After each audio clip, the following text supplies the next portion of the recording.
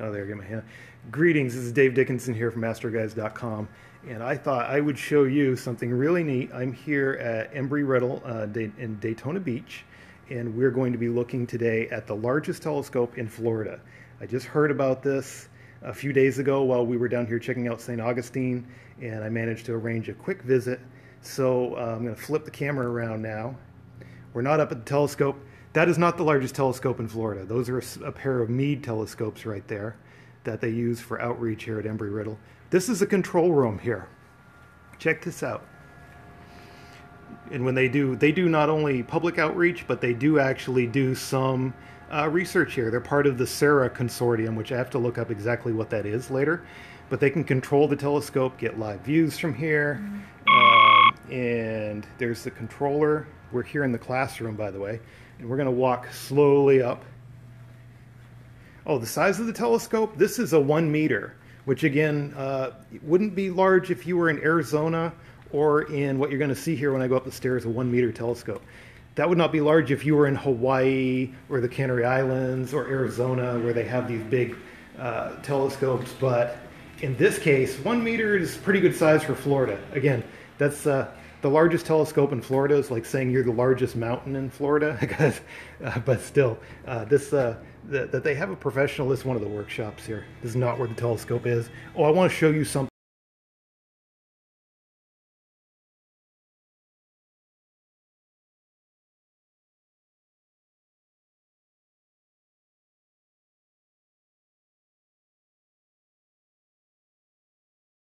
This pier is separated all the way down into the bedrock uh, to isolate out any vibration. This building was built with this telescope on the roof in mind. So we're going to go up one more set of stairs. Now we got a few more viewers. Anybody let me know if I got good signal or not here too. So, oh, we're getting a few more viewers. You can hear we're opening up the dome right now. They do uh, public viewing here once a month on Fridays too. I believe it's the first. If you go to their website here at uh, Embry-Riddle Daytona Beach for this telescope, they'll actually.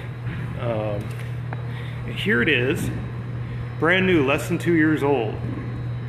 This is a one meter Ritchey-Chrétien, or Ritchie Cretan. I hear people pronounce it various ways. And we've got it open right now. Signal cut out briefly, but now good. Yeah, probably because I was walking upstairs. The school was gracious enough to let me uh, get on their Wi Fi network here so I could get a good signal for this broadcast. However, sometimes it might have cut out when I was walking through the halls. You can see they, I asked them to, they do actually uh, plop in an old school eyepiece and observe here too. Oh, we got some more people joining. We got seven people watching right now nice blue day out there. This would be a good night too. Good night to observe, incidentally. But uh, this is it, largest telescope in Florida. Unless somebody can prove me wrong, I don't think they uh, could. There might be some amateur out there with something uh, bigger than one meter. There's a guy out in Utah I know, uh, 72 inch Dobsonian. He got uh, a spy satellite mirror from a government auction and built this. Uh, if you look at it on the web, it's I I'm pretty sure it's the largest amateur telescope out there. So this one meter is what, 36 inches? 40. 40 inches. Okay, so this is a 40 inch mirror on this. And yeah, it's, it's strange going like to the Yerkes Observatory and a lot of the older ones, which I like the old. Where in Florida is this again? We are at Daytona Beach. We are at Embry-Riddle University on, Daytona, on the campus on Daytona Beach. And again, like I said, they, they do do public viewing with this. One of the larger scopes, the one we used at the Flandrau in Tucson was a 16 inch uh, Schmidt Cassegrain, a very old scope. Okay. Got a few more people joining. We're looking at the largest scope in Florida here, and he's slowing it around right now. Uh, this uh, engineer Damon Burke here at the university. And he's, he's slowing the scope around a little bit. Oh, we're getting a few more views. Tell your friends we're looking at the largest telescope in Florida right now and we're just slowing it around and checking it out. Again, this is a one meter or 40 inch. Um, it's uh, uh, DSM is the name of the company that built this? DFM. DFM. I know I've heard that heard of them before. In Longmont, Colorado. Okay. Yeah. it's so quiet too. I mean, the whole the slewing on it. I mean, I've had uh, backyard my uh, Schmidt Newtonian Meade. I had that was much noisier than this when you slewed it around just automatically. But yeah, it's all covered up, and yeah, we're getting a few more viewers here. Does anyone have any questions? Anything that I, that I could possibly answer? Uh, astronomy or telescope related, of course. Everybody's being pretty quiet. We'll walk back around again. I could do one walk outside to show the piers as well. Um, go back around here, back up a little bit. There, you get a good view of the entire telescope right there, back in here. Again, one meter, Daytona Beach, Embry-Riddle. I'm gonna try to do some more observatories as I uh, as we travel here too. When was this built? I believe you said February uh, 2014, and it puts It's when it was installed, yes, and then the mirror showed up in late June. Okay. 2014. Yeah, and the mirror was it was late June of that year, so this has been installed less than two years. Uh, so it's very very new. Nice day out there too. It is. Are you guys going to do any observing this week with it? Um, I know it was being used last night. I don't know if any students are using it tonight or not. Okay. Do you guys ever host any visiting astronomers here, like they would at Kitt Peak, where they have to apply for time to use it, or is it pretty much just in-house We haven't university gotten to type? that sort of Okay, that level, of professionalism. so it's it's still uh, still mostly uh, what are I don't know immediately. What are these?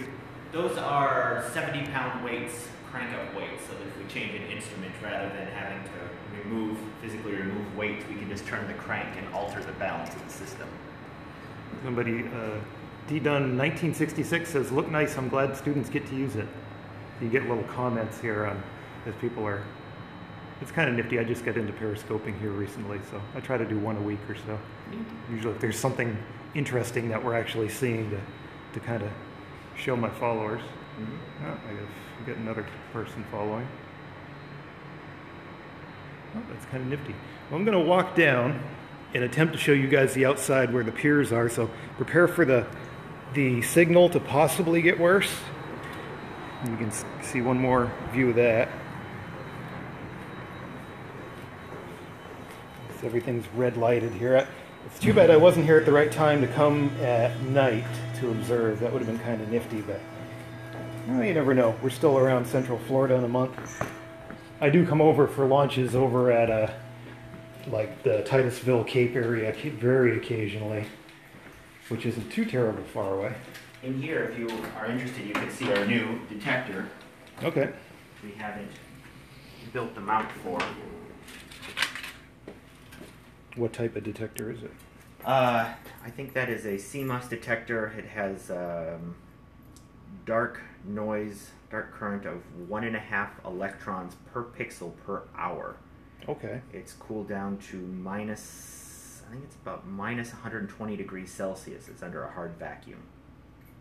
Interesting. Yeah, I'd never seen such a thing. That's that's kind of nifty. How would this mount on the? Is this like a? You'd mount it like at the main eyepiece or at the secondary or? This would be uh, where the eyepiece would be. We're going to Okay. have a whole instrument that attaches here. It's going to have a guide camera, filter slide, things like that. Okay. Being machined This now. looks like the cooling unit to it. uh, this is actually a bunch of circuit boards, Okay. electronics. Um, there is this whole thing's under hard vacuum. There's a Peltier junction in there, and we have a whole compressor and compressor hoses that run to it to keep it cool. Interesting. That's kind of neat. This this is a very hefty mount here too. This is the one that was smaller one. holding up the the CDK 20 from Paramount that you Okay. saw in there. We brought it in here to clean it up and get it ready for students to use. All right, good. Well, that's up on the, the older Newtonian up there too, and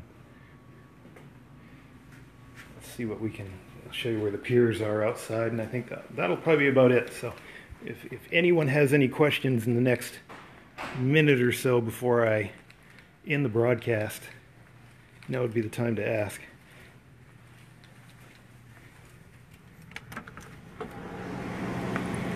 See, I'm not locking myself out.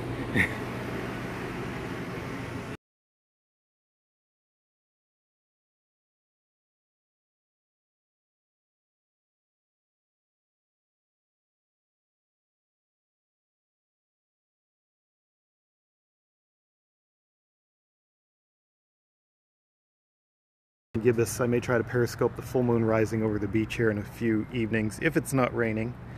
Uh, oh, connection was lost. Well, looks looks like I'm back. I think because I'm seeing comments. So yeah, coming through when I came down the stairs. Probably the oh now I'm back. Yeah, yeah. When we when we went through the stairs and then back down the stairs. Well, that's cool. The broadcast came back automatically. There, it, it was just enough of the signal. But um, okay, that's the largest telescope in Florida. You can see the the dome. If I can get back here enough to give you the good exterior of the dome. Until some backyard observer wants to put up something bigger than a than a one meter. That's the outside of the dome right there, and we'll we'll archive this for posterity up on the YouTube later on. And that's it. So we're out.